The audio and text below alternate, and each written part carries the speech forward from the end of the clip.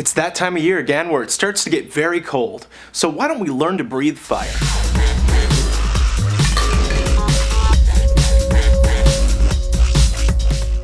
We'll be using cornstarch to blow a huge flame out of our mouths. Now, this is safer than alcohol or kerosene or other combustible items simply because it can't be ignited when it's all packed together.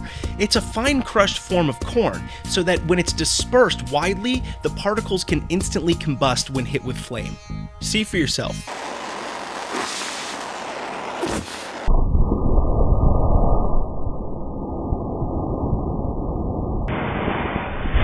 Now, cornstarch is only going to work as a fuel for the fire if it's very, very small and fine particles. So it's best that you sort of purse your lips together and just blow out a nice fine mist. Now, as you see, it took me a couple times to get the fire to go. But check this out. I'll show you exactly why cornstarch won't burn. So I used about half this amount to add to my mouth when I spit out the fire a few seconds ago. But basically, this is going to be great. It doesn't matter how much we have as long as it's packed together we can't get it to really light.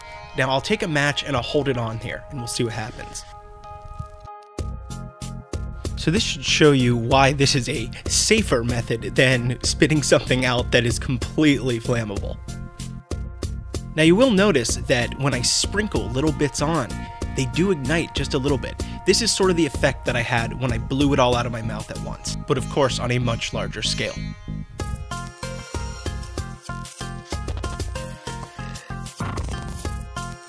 Now remember, you don't necessarily have to actually put the cornstarch in your mouth. I just did that for extra added effect and to sort of make a disgrace of myself on the internet. However, you could easily roll up a piece of paper and blow it out like some sort of crazy horn that spits hot fire. So, you know, keep that in mind as you go into this experiment. Now, if you watch Scientific Tuesdays on a regular basis, then you probably know that right now we're participating in the Ford Global Drive campaign, and this is an attempt to try and raise some money and get some water wells built around the world in developing countries. Right now, we've partnered up with Revision 3 and Ford to enter this contest and try and get Scientific Tuesdays to win the $10,000 prize.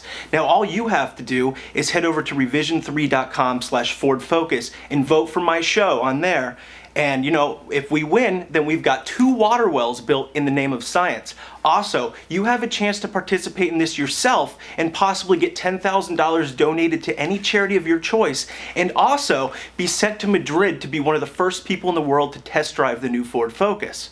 Now, all you have to do to participate in that is go to facebook.com slash Ford Focus. Now let's take a look at some fail footage that I saved for the end for you guys who like to hang around. We really appreciate that. Now, keep in mind, cornstarch is not easy to blow out. Once it gets wet, it just sticks to anything, which would explain why I had it all over my entire body after this. But anyway, we'll see you next week.